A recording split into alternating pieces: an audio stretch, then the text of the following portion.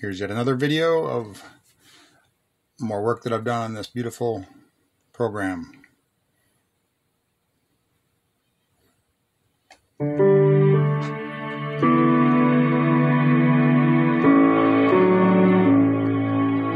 Now this is all the work that you do stacking different sounds that are here. Individual sounds are here.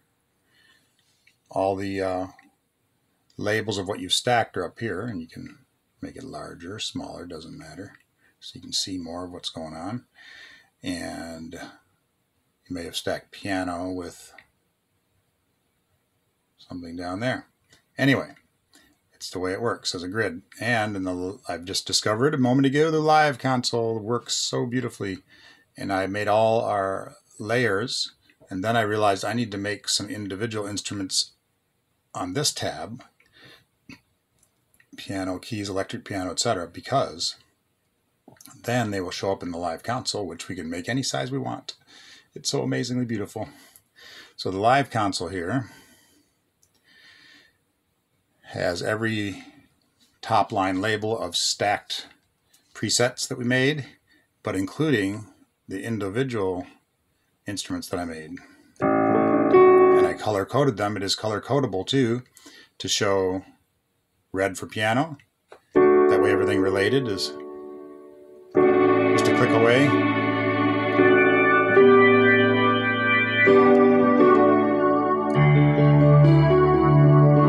And electric piano, for example, is blue with organ. Of course, you can change to anything you want, back to piano. It doesn't lose its place. We got keys, which are like a bright keyboard.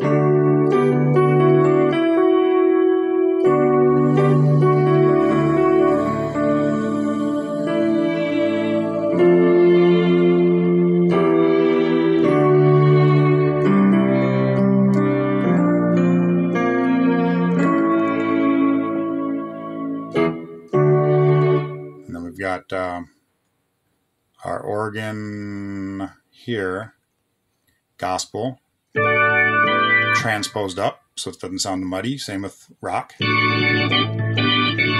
Pipe organ, pipe organ with choir.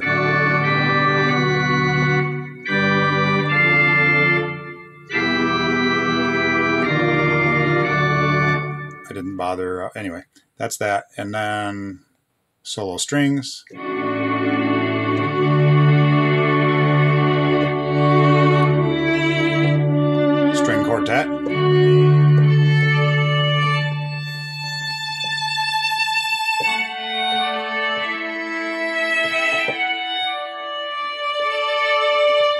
A little bit of horns.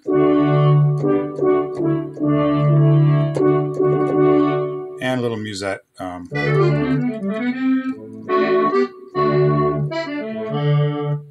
uh, accordion style thing. So it's all lined up easy. Oh, pads.